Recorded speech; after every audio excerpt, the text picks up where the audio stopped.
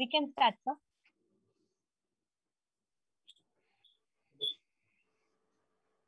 You want it?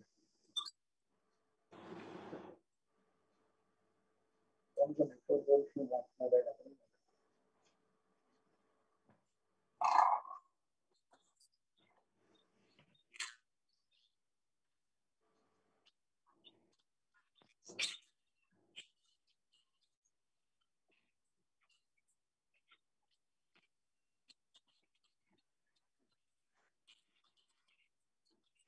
Yeah, thanks, Dr. Neeraj. Uh, very good evening to all our respected viewers.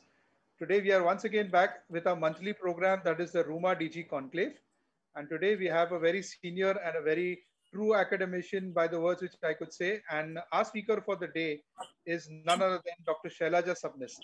Uh, Ma'am is a consultant rheumatologist in Mumbai. Uh, she's been the uh, consultant rheumatologist and a specialist at the Nanavati Super Speciality Hospital the Holy Spirit Hospital in Mumbai as well, the LH Hiranandani and the BSES MG Hospital, along with her own place, that is the, the Sneh NH and the Medico Surgical Clinic. Ma'am, she's been a teaching uh, faculty for the past 20 to 25 years in rheumatology, postgraduates and undergraduate students of medicine from our own university. Along with that, DNB students in rheumatology, CPS students, and most importantly, orthopedic students, especially who are doing the MCH. She has also been a faculty at the osteoarthritis treatment in Harmony in 2010 and 11. She's been having multiple orations in rheumatology, especially related to molecules like JAK inhibitors, uh, conventional DMARDs, biological DMARDs, and an important oration in the anti-TNF antibodies at the ACR 2015 meet in San Francisco, US. Ma'am, along with her academics, has also been into numerous publications in both national and international journals. And today, Ma'am is with us to speak about rheumatic and musculoskeletal diseases, the important part being treat to target on case-based scenarios. So now I would ask uh, Ma'am to start presenting. I'll be sharing the screen for her.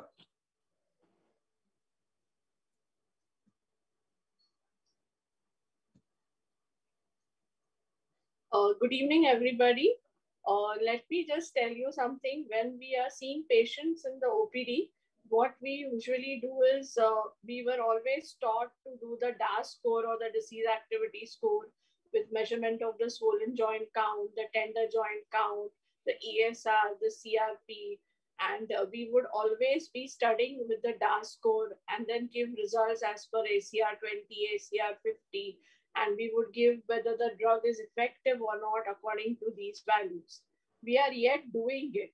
But in the last five years, we realized that many patients of our RA might have a moderate disease activity or a low disease activity, which is not currently as per their lifestyle. In the sense, what is happening is uh, we are seeing patients who have very good uh, disease activity control, but yet they are very depressed and we do not know what to answer them.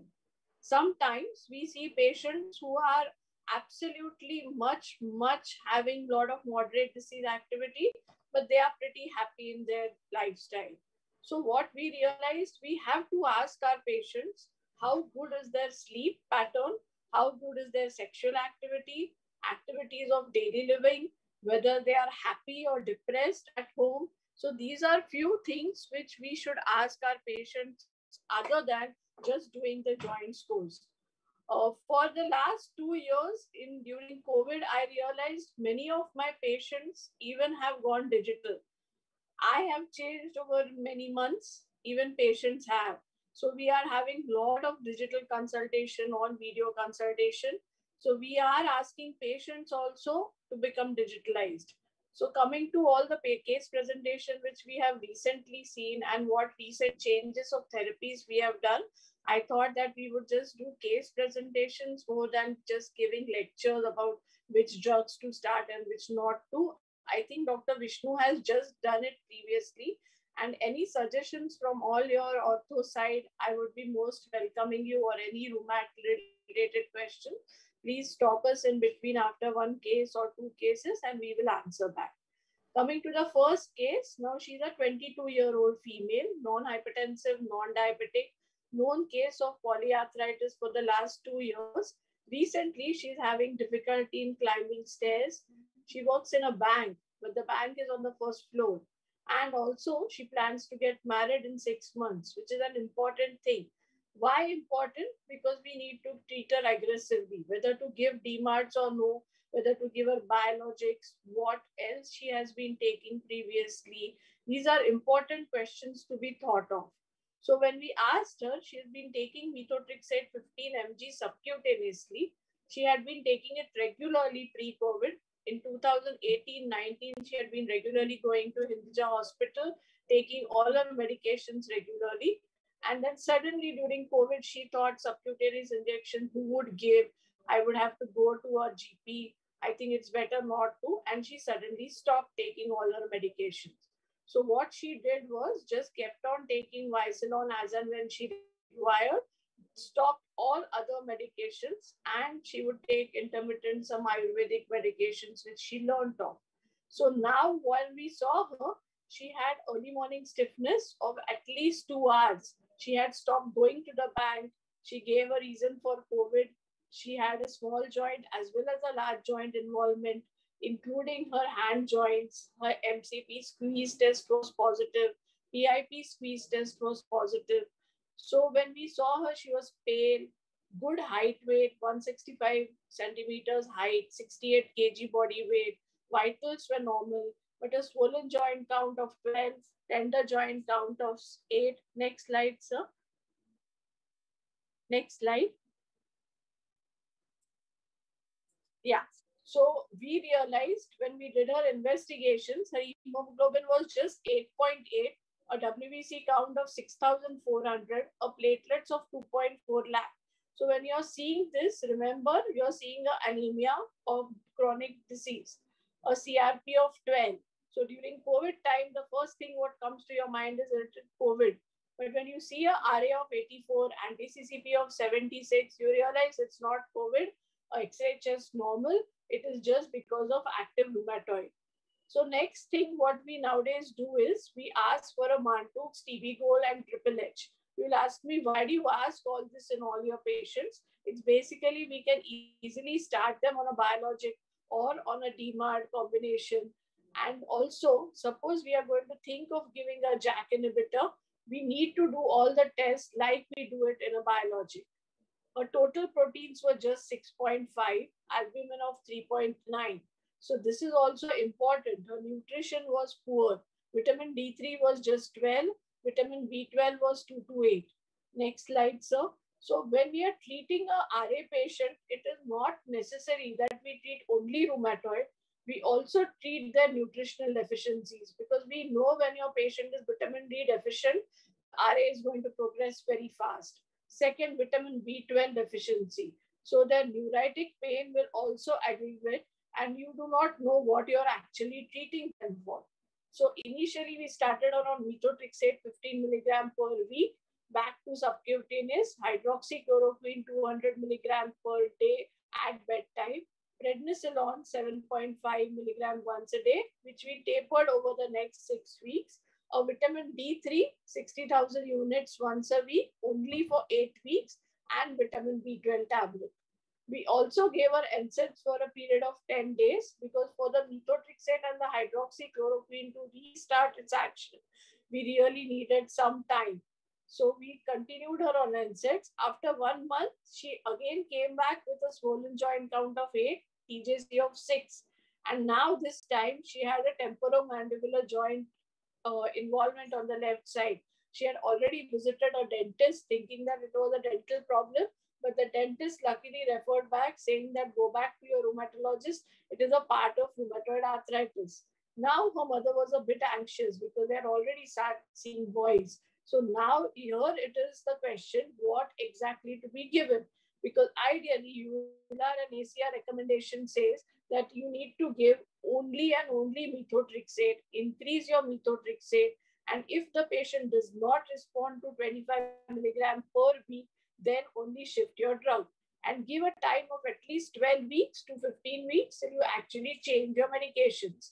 But during COVID, what used to happen is we used to hardly see patients for at least two months or so. And her mother was a bit anxious considering that she needed medications action to be very fast because already she had been taking methotrexate earlier. So they were not very happy. So I told her, don't get panicky. We started her on injection adalimumab. We gave her 40 mg subcutaneous. I explained to her that it is very easy to take for an educated patient. Don't get hyper or you can come here and take it from me in my clinic.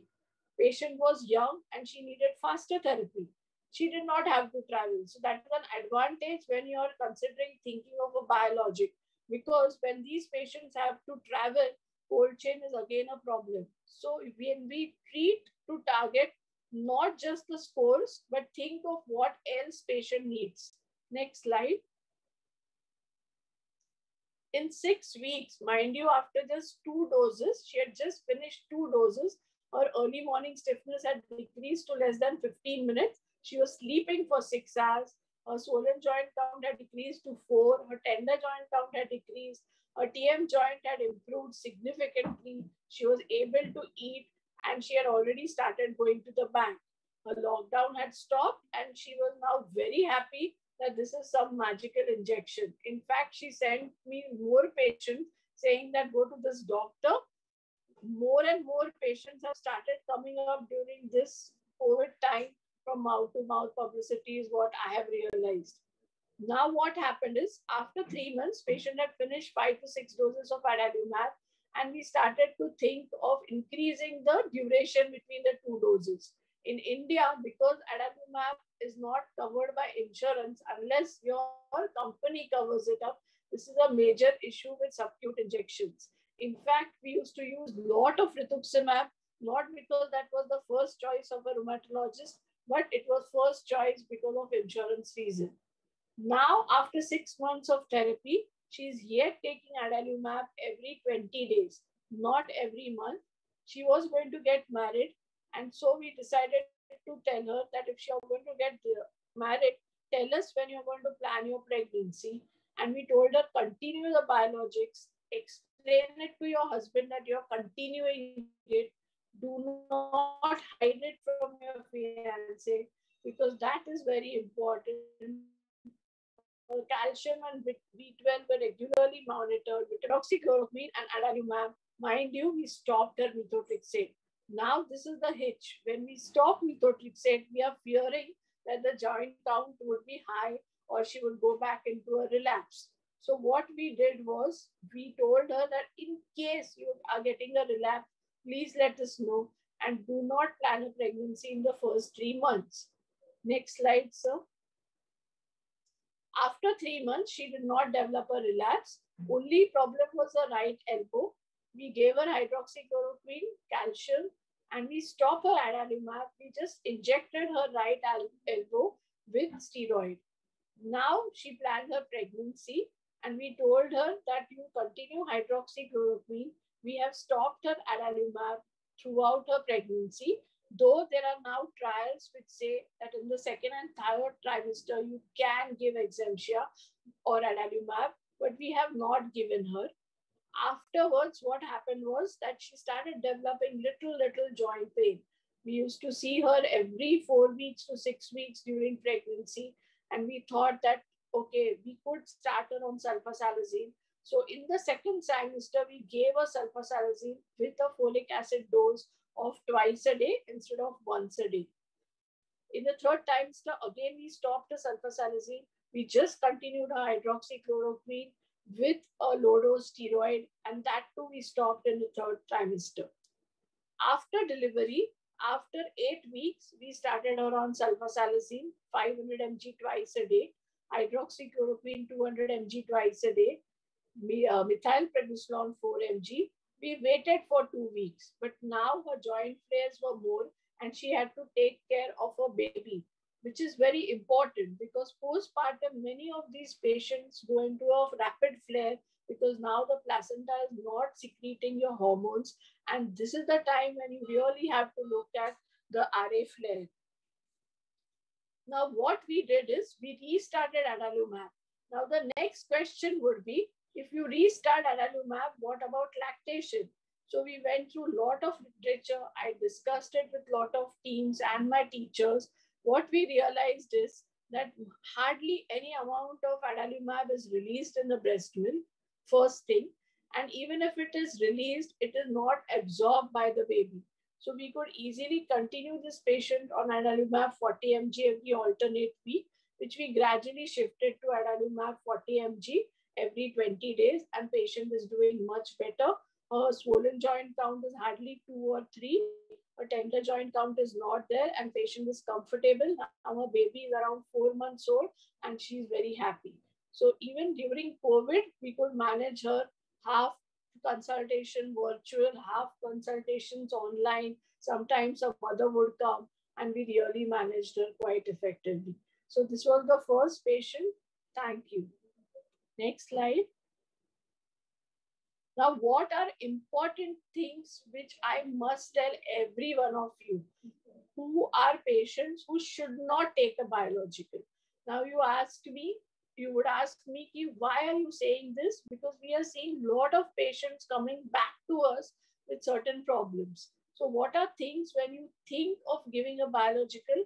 Remember to cross these things. One, any history of recent infection or hospitalization in the recent six months. So ask them whether they were admitted for pneumonia, cellulitis, meningitis, sepsis, any history of opportunistic infection.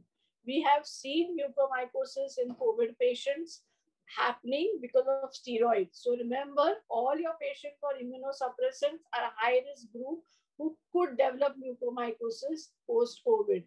Any previous history of biologic adverse reactions, especially for rituximab when you're asking a patient for rituximab, these are things which I tell all my rheumat students. Secondly, if patients have limited financial means or they don't have an insurance, remember taking just one or two injections of biologicals do not do any magic. People think ki jadoo ki chappi hai, just take one or two and then continue DMARDs. No, it doesn't work so. So unless and until patient is going to take six or 12 injections, do not consider biologics. It doesn't work.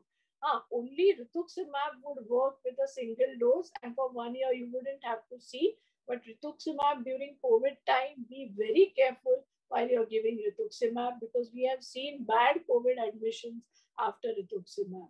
Next slide. Now, what are the contraindication?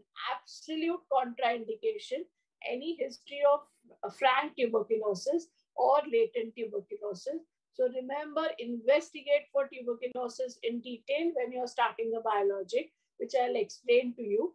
Any history of suspected malignancies, because a lot of solid tumors can start after in, in putting you on a biologic. History of any demyelinating disease. Any patients elderly patients, especially above 60, who are ischemic heart disease or who have had recent admission for congestive cardiac failure, do not think of giving a TNF blocker. Next slide. How do you initiate anti-TNF? Remember, first thing, do a CBC, ESR, BUN creatine, liver function test, a urine routine. Now, important thing is do a Mantoux test and a TB interferon test. When we started using Enbrel or etanercept and infliximab or Remicade, many of us had tuberculosis, like even miliary tuberculosis, bone marrow tuberculosis, and we really didn't know where we are missing. We would do a Mantoux, we would do a chest x-ray, and still we would see a lot of tuberculosis happening. So we really didn't know where we are missing out things. Now we know we were missing out latent TB. So anywhere you see a TB interferon positive, ask these patients to go on a two-drug AKT. Wait, wait for eight weeks before you initiate a biologic. In fact, when I used to give seminars with a US physician or a UK physician, they would say, why are you waiting for six to eight weeks? But we are seeing a lot of MDR-TB after initiating it immediately. So I prefer to at least wait for two months of AKT continue those two months of AKT for six months, and then by after two months, you can start them. Also, remember if you have active hepatitis B or hepatitis C, do not think of inhibit, uh, starting a JAK inhibitor or a biological. So remember to do all triple H, even if patient feels that we are giving them extra investigations to be done, do not think that you have to do it or not. Please do it because finally, medical legal litigations we have to fight and then no one protects you. Next slide, sir. So these are the tests when we screen for latent TB. We ask them for history of risk factor, history of open TB in the family, any previous history of TB, ask them to do a Mantoux. Now, if your tuberculosis test and your TB interferon is negative, you can uh, give them safely. But if your TB skin test is positive, you need to evaluate them. And nowadays, I tell them to go for a CT chest screening and a CT abdomen screening. And many times we find lymph nodes which are suspicious and we start them on AKT. Next slide. Another important thing when you're starting any biological or any new drug, ask yourself, have I ever used it? Have I used it during my training program? How safe is this? How safe is this drug during when I'm using it? So these are few things when you should be very open about. If you are dicey when you're starting a biologic in some certain group of patients, remember to monitor them frequently. In COVID time, if you're not feeling safe, that maybe for latent TB do not start it. If you feel this patient is probably going to be in a COVID environment, healthcare individual, do not start them a biologic or a JAK inhibitor because they are going to have worse prognostic signs for COVID. So remember to maintain an open dialogue. Do not be in a hurry when you're going to give them special drugs. Then you may just maintain them on conventional combination DMARDs. But if you are feeling comfortable now that we are having an open scene, you can definitely think of using any of the new drugs and better to use it faster because you're treating them faster, you are achieving your target faster. We do not want a high DAS score to remain. We do not want patients to come back on a wheelchair. That's what I tell my juniors that when we used to see our patients, we used to see them coming on a wheelchair. Now we see people coming back, walking, climbing stairs. I mean, really happy with our medications. So even we feel happy. I mean, that is the best consulting fees, what we get back to it. Next slide. Now, as we all have gone through this n number of time, we know that when you diagnose rheumatoid, remember, do not treat seronegative RA differently. Start them with methotrexate. Methotrexate is your anchor drug. Unless contraindicated, please start methotrexate please use glucocorticosteroids when you're starting methotrexate, at least for a period of three months. If there are any contraindications to methotrexate, you have to consider to go on to either sulfasalazine hydroxychloroquine or sulfasalazine leflunomide. You achieve a target. What should be your target? Total remission. I prefer in India to go into low disease activity. So even if you have a swollen joint point of two or three, do not call it a failure. Next slide. Now, if your DAS score is still persistently above 4.2 or a very high swollen or tender joint count, you go to the phase two. That is either you decide to use a JAK inhibitor or use a TNF blocker. So next slide. So what here, the earlier people would just use combination DMARD. Now, even now, according to the latest ACR guidelines, they say that you try using a subcutaneous methotrexate than adding a third DMARD. So unless and until required, do not use triple drug, which we commonly use in India because of the risk of toxicity. You, when you're saying a failure of methotrexate, remember 25 milligram of methotrexate, which we hardly use, but at least a 20 mg of subcutaneous methotrexate. If not methotrexate, use a double drug. Very necessary patients, you can use sulfasalazine methotrexate with hydroxychloroquine as triple drug combination. Try to achieve the target. If not, if you're not comfortable, I prefer to use the JAK inhibitors. We'll come to what are JAK inhibitors later in the state. But if still you have a high DAS score, you go on to a biologic. So do not initiate a biologic immediately within the first four to six weeks. Wait for three months. Wait for 12 weeks before you think of changing activity. Second, if your ACCP levels are very high, think that you're missing something.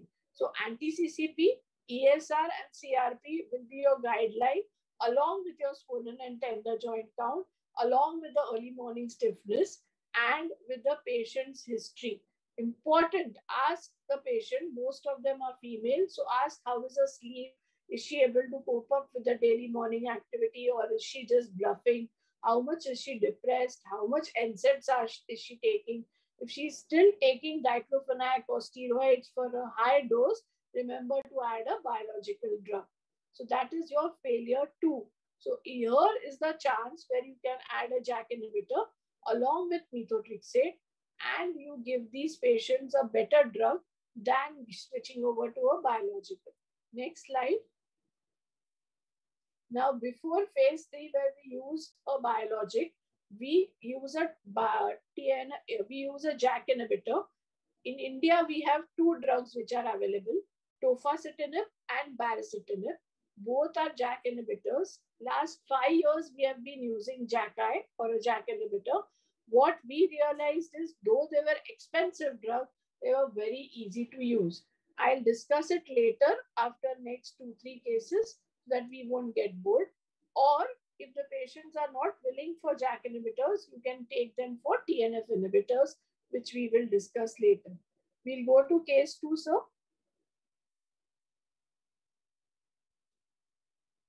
Yeah, coming to the second case. Uh, now here the patient is different. She's a 59 year old female, so elderly female, postmenopausal, finished uh, her childbearing. She's different. Why? Because she's a rheumatoid arthritis patient, but she has a non-healing ulcer on the left leg since two years. She had been operated earlier. She was referred by a plastic surgeon, mind you, and he told me in spite of her graft, the graft did not take up well. And I feel the RA is causing some vasculitis and probably why don't you have a look, Shailaja? Next slide. So after debridement and two weeks of antibiotic therapy, what we thought of, we did a ANCA. ANCA was negative. ANCA is anti-neutrophilic cytoplasmic antibody, but it showed no granulomas, but chronic inflammation was seen. Patient was taking leflunomide, which we immediately stopped because sometimes leflunomide can help, uh, not help in the healing of ulcer uh, methotrexate 15 mg and hydroxychloroquine was continued and a trial of cyclophosphamide was given. We gave her monthly cycles of cyclophosphamide. Initially, the ulcer seemed that it became smaller and smaller. I mean, from an area range of 6 centimeter, it came down to 3 centimeters. So we were very happy. The cyclophosphamide is working on rheumatoid arthritis as well as the vasculitis. But then again it seemed to have changed because ESR started rising from 65, it shot up to 95 suddenly. So after the fifth and sixth cycle, another problem occurred. She had hematuria. And because she was 59 year old, we were a bit worried. So we did a cystoscopy, which did not show any bladder involvement. And we realized it was cyclophosphamide induced. In spite of use of Mesna, we were thinking what to do. But by that time, she went to the village and we lost her for follow. Now comes the main thing. Next slide. She came back to us after some time, after around three months. Now the ulcer was back to five centimeter. RA was positive. CRP was 100 milligram. Hemoglobin of 7.5. WBC counts of 12,500. Triple H negative. Mantoux negative. TB gold negative. But she said, I'm not going to get admitted and no IV injections, doctor. I do not want to take any IV injection. That is why I went to the Gao and they did some lychee therapy and whatever. So I was very angry and in fact, I was very unwilling to accept her. I told her, see, if you're going to stop following up, please don't come back to me. Her husband said, Madam, kuch bhi karo, hum log thak gaye Next slide. So when she came back in February 18, her hemoglobin was just 7.5, ESR of 110, CRP high. She was given two units of packed cell. We explained to her that rituximab should be given. She refused to take any injection because of the cyclophosphamide experience. Next slide. After a fortnight, finally we scratched our head and we started our on Xeljanz. That time, Indian Tofa was not available. Now we have so many brands of Indian tofacitinib and the cost effectiveness is much better. Though we found that the Pfizer original brand really works much better than the Indian brands. But equally, I would say it is like biosimilars. I mean, we will have to accept the biosimilar products because they are much, much cheaper. We increased our methotrexate orally to 20 milligram per week, continued a hydroxychloroquine, prednisolone 7.5, alternate day dressing with a plastic surgeon, and the ulcer size decreased. Mind you, within six weeks, the CRP came down to 16, ESR of 10, 28, and a swollen joint count of 3, and now she's mobile. So we realized that JAK inhibitors not just work on rheumatoid, but they also work on the pain and the vasculitis part. In fact, her pain disappeared in three to four weeks. That time in 2018, we were hardly using JAK inhibitors. It's not the scene like 21 where we are right, left, and center using tofacitinib because the Indian variety is much, much cheaper. But we realized her pain disappeared in three weeks. And then when we asked our European counterparts during EULAR, they said it works on a different pa pain pathway. And the mechanism of action is so fast that within two weeks, you'll find the difference. So that is what we realized that within one month, her ulcer had decreased. In fact, nowadays, many, many people are using even TNF blockers uh, like etanercept on the ulcer and it heals very well. Next slide. What are important things which we did for this patient because she was 59 year old. She had been vaccinated for pneumococcal and flu vaccine before we started her on JAK inhibitor because recently her, her husband had developed pneumonia, whether COVID or H1N1, we did not know, but she did not have problems. She's just on deflazacort, methotrexate, hydroxychloroquine, and her tofacitinib. Now she's on the Indian brand. Her calcium, vitamin D3 also was done, but a DEXA scan showed severe osteoporosis. Denosumab was given, and now recently, in the last one week, we have also started her on Forteo. So these are some take back messages. Different patient, different thought processes should be thought also ask the patient how comfortable they are with the injections.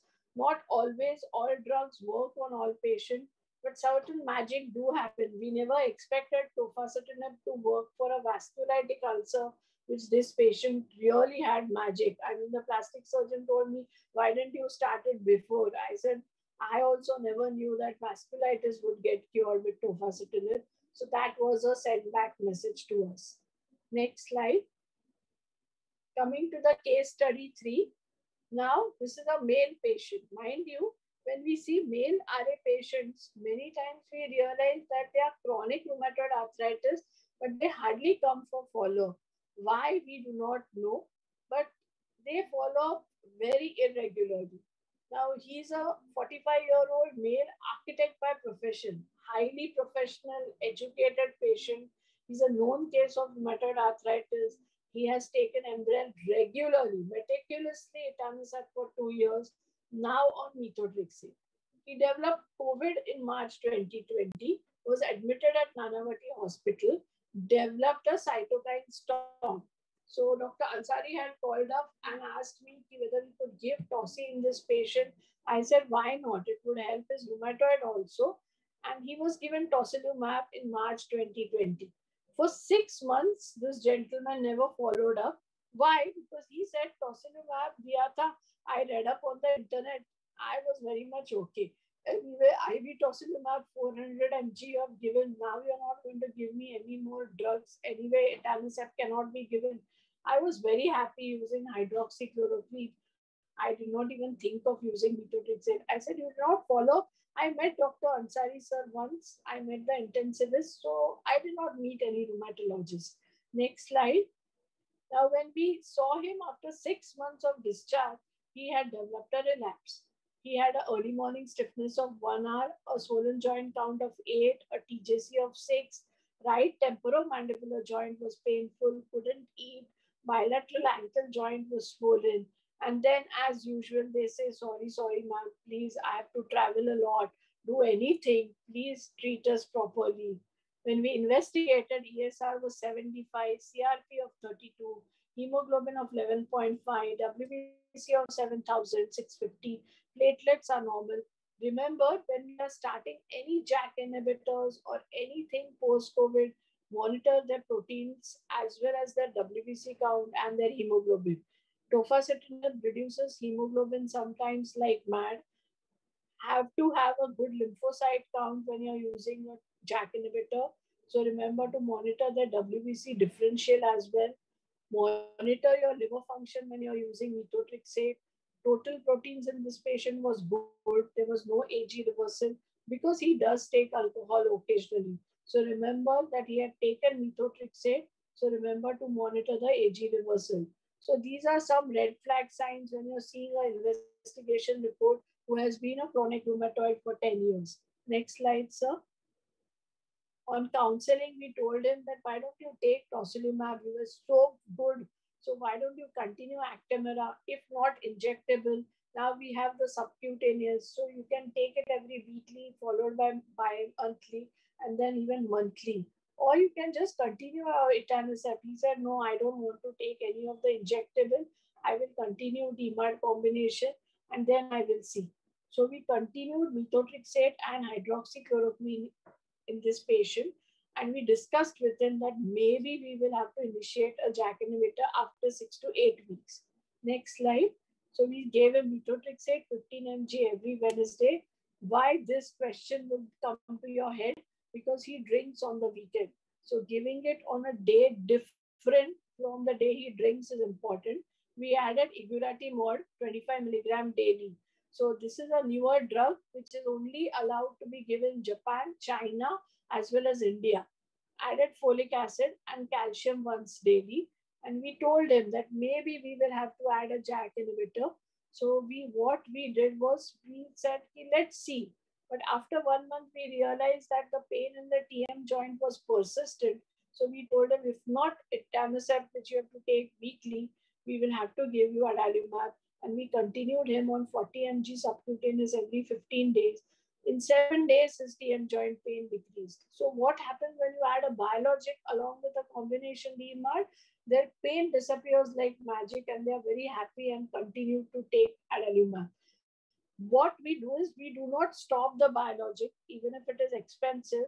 In fact, we increase the gap between the two doses. Uh, so this is what we do it in India. You may call it jugaad, you may call it unofficial, unethical. But then when we were discussing it in ACR also, we realized from our other colleagues that many of these patients are given a lot of biologicals to take back. If they are given Enbrel 12 drug, uh, 12 doses, most of them take it at home or they have a nurse coming home and giving it to them. But they return back two, three. So maybe they are also not taking it weekly or every 15 days adalimumab, which they should ideally be taking. Most of them are increasing the gap duration depending on their disease. So remember that it's not that only we are doing a lot of things with these biological. Even in the Western world, they are seeing patients who are taking a gap between the drugs and adjusting their doses so that their copay decreases. Now the patient is continuing to take adalimumab every 20 to 25 days and he's very happy. He's eating food very meticulously, continuing methotrexate and hydroxychloroquine no steroids, no NSAIDs, I'm very happy. Only thing I told him, please follow up every two months or at least every three months with your blood reports. Otherwise, there is nothing like lost follow up because then I'm not going to be responsible for you. Next slide. After six weeks, what we did is he wanted to go and visit his daughter. So he couldn't carry adalimumab during COVID time because cold chain was a problem. Lot of certifications, lot of vaccine certification. So we stopped his adalimumab recently and we gave him methotrexate 15 mg orally, folic acid once daily, and igurati, which we continued with 25 milligram twice daily. When you start iguratimod, mind you, started with once a day. Many of these patients face with nausea or diarrhea. Remember, you can give them metrogyl, antispasmodics for five days, and most of them respond. Only 10% patients really have to stop their iguratimod. Most of them are very happy with the drug. One, it is cheap oral drug. And then gradually, maybe after the uh, monsoon goes away, we could make it once a day. So we continued pantoprazole, iguratimod, folic acid, and methotrexate, and he's flying out now next week. Thank you. We'll finish the fourth also, sir. Okay, we'll go on to the case study. Yes, ma'am. We will go to the Yeah. fourth one. Yeah. Next slide. Yeah. Now, she's a 48 year old female patient who had come to us. She's a non hypertensive, non diabetic. She's a diagnosed case of RA since four years. Presently on no medication since three years. She's brought by her husband with polyarthritis of both minor and major joint, including small joints of hands, knees, ankle. So you can imagine she could hardly walk. She had again a TM joint involvement of the left side, and she was in extreme pain when she was recently brought to us just after the first COVID lockdown got over. Next slide. Next slide. She was on Ayurvedic drugs. She had gone to an orthopedic surgeon who started on Wysolone 10 mg and NSAIDs and told her to meet a rheumatologist, but she did not. The husband was not keen on giving her Wysolone, was not keen on giving her any drugs, and just said only Ayurvedic. Now she also had history of dryness of eyes since two months. There was no history of skin rashes or oral ulcer. Mind you, many female patients come to us with mixed connective tissue. So ask them for history if there is any lupus overlap or scleroderma overlap. There was no complete restriction of a movement. So still joint deformities had not developed. She had normal menses and she was even keen on having a child after the disease control. She was a software engineer and she knew that she would have travel the country often once uh, she would be able to travel. Next, her pulse rate was 108. She was extremely pale because she had hardly taken medications. BP was 100 by 60, swollen joint count of 14, TJC of 10. So even in an educated patient, you see these pictures. It's not just the unpad gawar who come to us with bad RA or chronic RA. Yesterday itself, there was a meeting which they asked us, is there a change in the situation? Yes, we are seeing early rheumatoid, but even now we are seeing late rheumatoid. So this patient would yet go into a late rheumatoid because already so many years of rheumatoid have passed. Remission most of the time is not possible in these patients, but low disease activity can be achieved. So nowadays, LDA is important more than complete remission. You just continue these patients on one drug and they are happy. So we'll go to the history. Her right wrist was swollen markedly tender. Her squeeze test was positive and she was in extreme pain. Hemoglobin was 6.8 for a software engineer. Iron deficient anemia was seen. WBC 9870, ESR of 90. V1 created normal. Total proteins just 6.6. Normal liver function. RA very high, 256. Anti-CCP high. ANA was positive, 1 is to 80, homogeneous pattern. ANA blot, though, was negative. dsDNA negative, so lupus ruled out. Triple H negative, vitamin D3 again low, 6.5. Vitamin B12, 486, a DAS score of 7.13. So blast of rheumatoid activity. Next slide. She started on hydroxychloroquine. Methotrexate was just started on 10 mg because of her anemia methylprednisolone orally 4 mg twice a week, then decreased to 4 mg per, per day, not week. TAP piroxicam was started, Peldex iron at bedtime. She was admitted for one day, given IV iron, vitamin D3 was given. She was referred to an ophthalmologist, diagnosed as secondary Sjogren's, given again uh, tear plus drops. Now, after 14 days, her counts of joints were much decreased, but still her knee effusion was persistent. And now she had developed a flexion deformity of 20 degrees in the right knee. Right ankle joint swelling was persistent. So we shifted her to 15 mg of methotrexate because we had already given her IV iron. So uh, hemoglobin had improved. Uh, aggressive physiotherapy was started. Now she really was in terrible pain and her husband was begging. He said, maybe we'll have to go to the US or something. So please, doctor, please help us. Next slide, sir. So at six weeks, her swollen joint count was eight, tender joint count was six, her knee joint effusion was slightly decreased, but again, she had early June a flare of disease. So last year, what we did was basically when we saw her, we are not happy. Still, her joint counts are still coming and going. Methotrexate hydroxychloroquine only is not working. Whether to add leflunomide, but again, she would plan a pregnancy. Next slide. So we he asked, the husband told us, please doctor, do something. We want to go in July in the US once the flights start. Uh, but she said, I don't want to take injections. How will I travel with the biologics? So I want something very fast to be given. We did a, again a blood count. Now her hemoglobin was 10, ESR was still high 90, CRP 96, Triple H negative, Mantoux TB Gold negative. Next slide. So we started her on baricitinib. Baricitinib is the other JAK inhibitor which I was telling. This is once a day drug. Now the oral uh, Indian biosimilar baricitinib has come because of COVID.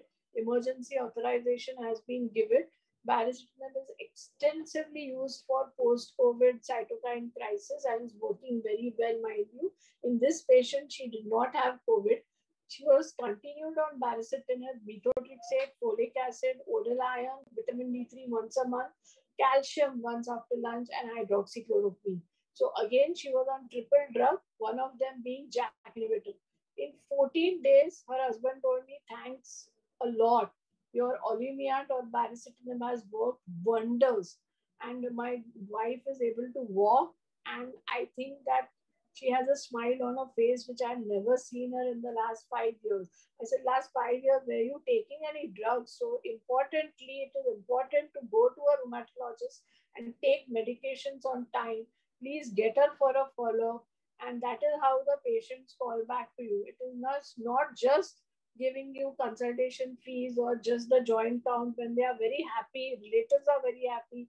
The reason is in India, we are always married to not just the husband but also to the family is what i say so you have to get up have get your breakfast done help your husband so when your wife is smiling all husbands are so that is what i tell my husband we marry the families not you only so now the patient is on three already three weeks of Olumiant is done along with methotrexate and hydroxychloroquine she's able to walk she's able to sleep there's no effusion, and we are also happy with her.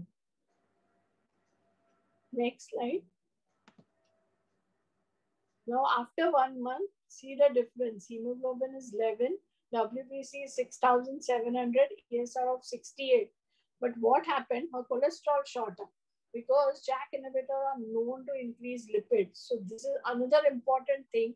Ask these patients not to take estrogen containing pills because it can induce thromboembolism. So mind you, when any patient of COVID also is taking baricitinib, we are telling everybody to put them on antithrombotics. Also ask them for history of any history of thromboembolism before and check their lipids. This patient was started on rosuvastatin, low dose aspirin, and she was told to exercise. Exercise is very important. Walking, exercise, very important we cannot afford a high cholesterol in any patient on Bari or on any JAK inhibitor. So remember, these are again red flag signs which you should know what to monitor in which patients. Next slide. Now she's on a vacation. She has gone to Maldives. Baricitinib 4 mg is continued. Methotrexate 15 mg, folic acid, hydroxychloroquine, no steroids, regularly taking iron calcium. NSAID pill count is hardly anything. So she's very happy and she goes for a walk and regular physiotherapy. So this is how patients improve dramatically with JAK inhibitors. I'm not telling you start all patients on JAK inhibitors, but choose your patients well. And also importantly, monitor your patients. Even if it's a digital world, remember to tell all your patients what tests to be done.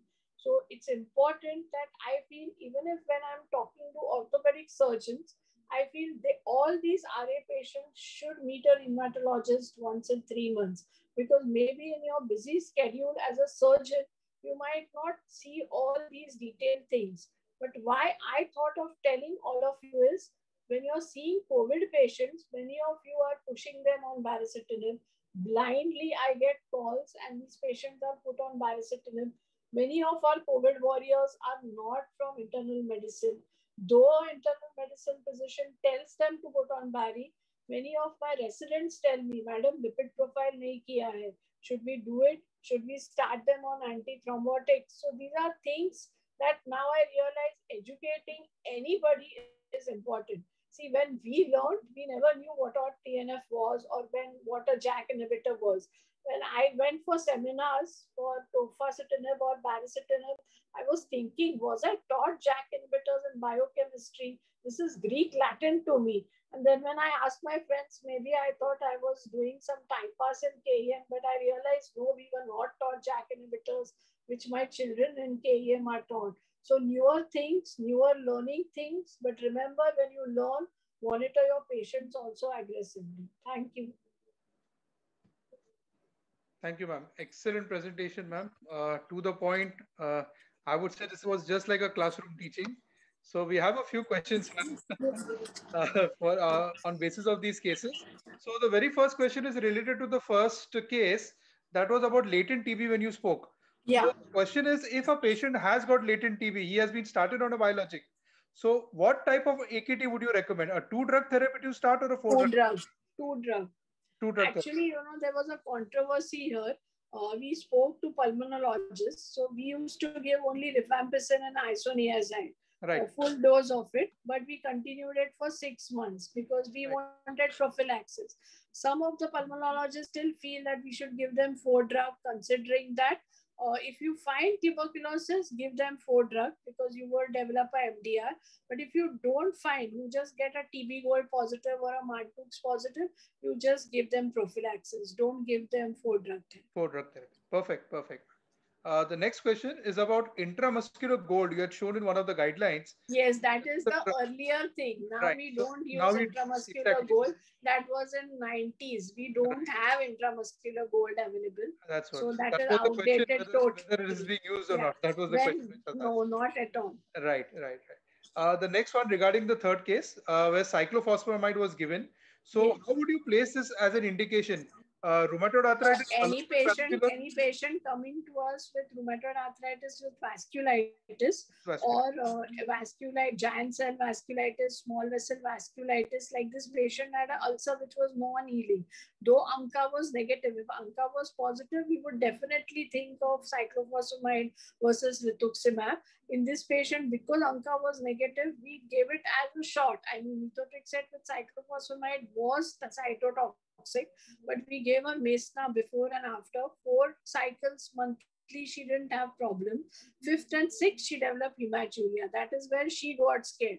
And after the cystoscopy, she got also bored. Sometimes, if you look at patient's point of view, I agree that sometimes it can be a problem to these patients. It is quite scary to see blood in your urine. So in uh, earlier, when we didn't have all these biologics, we would use cyclophosphamide as part of therapy for RA. We would either use monthly cyclophosphamide or we would use azathioprine, now which we hardly use. Uh, we go on to biologics immediately. So this was something new that we thought of giving her etanercept, but she was from a very lower middle class family staying in Jogeshwari East. But luckily, afterwards, her uh, son told me I have joined a company who would reimburse me. So you give me any medication. And she came from the village the second time. So we gave her the JAK inhibitor, and to my surprise, they even bought Pfizer's Xeljanz, which is pretty costly. I mean, 23,000 per month. I was very surprised. But they brought it, I think, because they were reimbursed and it worked like magic. In fact, I have heard even use of etanercept, which they use locally at the ulcer side. I have not used it, but they just spray it and it works, it seems. Even JAK inhibitors, they have tried using. Right, right. Perfect. Yeah. Coming to the next question about JAK inhibitors, which you've been using quite frequently. Uh, would you take tofacitinib as a first line therapy, especially in just rheumatoid arthritis? No, I don't feel so. Okay. I mean, it is working wonders, uh, very fast acting, but I would still say use methotrexate because then what would you be left with? Right. First. Secondly, side effects also are pretty high. I mean, we are using it right, left, and center. Anemia, herpes zoster risk, uh, though all conferences say there is no increased risk of opportunistic infection, but still risk of flare of tuberculosis, opportunistic infection is high. In fact, uh, earlier they said there was no difference in COVID admissions uh, with all our rheumatoid patients, but now all the latest EULAR and ACR says patients who are giving rituximab or JAK inhibitors came to us with COVID pneumonias compared to patients who were only on conventional DMARDs. So right. neither did hydroxychloroquine work uh, which we gave rampantly in all our patients, nor did uh, uh, JAK inhibitors gave you protection totally in COVID, though baricitinib is used in COVID, I mean post-COVID. Right, right. Yeah. Uh, so I prefer using conventional DMARDs even now. Right, right. Uh, if it fails, I don't wait for six months as the books say, but maybe after three to four months, I shift them to a JAK inhibitor. Right. Means even before a biological, nowadays I'm using the Indian tofa. Absolutely, absolutely. Uh, the next question is, ma'am, regarding the vaccination part. After taking a COVID vaccine, which yes. would you not start immediately? See, uh, importantly is everywhere it is said, do not give methotrexate, do not give mycophenolate, uh, any prednisolone or Wysolone more than 10 mg per day, and also uh, I think, one more drug, or JAK inhibitor, for at least 15 days after the vaccine. But now the latest guideline says seven days after the vaccine. Okay. So these are few drugs. Your hydroxychloroquine, sulfasalazine, uh, less than 10 mg per day can be continued as usual. Do not hesitate to use them. Another important thing is all patients do not need anti-spike uh, COVID protein antibody, but patients who are on immunomodulator, I would still suggest them after the second dose, after three weeks, do your anti-spike antibody because many of the patients who have done uh, immunosuppressant therapy, especially transplant patient, their antibodies have not come positive. So you might require a third booster dose after right. speaking to ICMR. Absolutely, absolutely. Uh, the one more question, ma'am, about iguratimod now. That in one of the cases we saw you had prescribed the patient iguratimod. So uh, the audience wants to know how long you would prescribe this. How long? We yeah. have used it for more than two to three years. Okay. I mean, we are using Zyramod. Now you have more and more companies, Igurati, mod, and it's working very well. Only in 10 to 20% patient, it is really unsuitable. I mean, gastritis, loose motions, nausea, vomiting. We try uh, giving um, uh, metrogyl flagyl for the first five days, give them uh, Redotil, but in some patients, it really causes a lot of GI disturbances. So those patients then don't continue iguratimod. But in other patients, you can give. But again, in pregnancy, lactation, you cannot give iguratimod. Right, right. Perfect, perfect. So I think these are the questions what we have received. Uh, Dr. Neeraj, any questions from your end? I think he's there. Dr. Neeraj? I don't think so. No, he's there, but I think Mike is on mute. Okay, fine, fine. I think he's, uh, yes. not able to connect. So thank you, man. Thank you for the thank you. The all four cases were absolutely to the point, and as I repeat, they were class classroom teaching types of uh, session which we had. So we thank you for joining us on today's event. And uh, Thank you. to all our audience, we thank you for staying with us for this excellent session and many more to come every month, which we have, we have planned for the future. So thank you. Thank you. Have a nice day. Stay Thank safe. Good night. Thank you.